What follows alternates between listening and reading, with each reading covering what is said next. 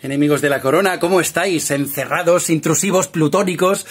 He pensado, ¿cuál es el tema más diferente al coronavirus? Pues una piedra. O sea, además un proceso volcánico sí que es largo, se ríe del confinamiento.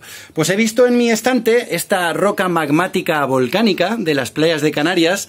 Las magmáticas son las rocas guays porque son las que molan, son las primeras.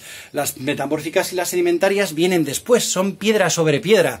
Vendrán días en los que de esto que veis no quedará piedra sobre piedra que no se destruya. Perdón, me he puesto evangélico. Pues no todas las rocas magmáticas eh, cristalizan en la superficie, como esta, cuando el magma aflora y lo llamamos lava. La mayoría se consolidan bajo la superficie, en las profundidades oceánicas o en el interior de la corteza terrestre, y por eso las llamamos plutones. Mira en tu interior y encontrarás una gran piedra.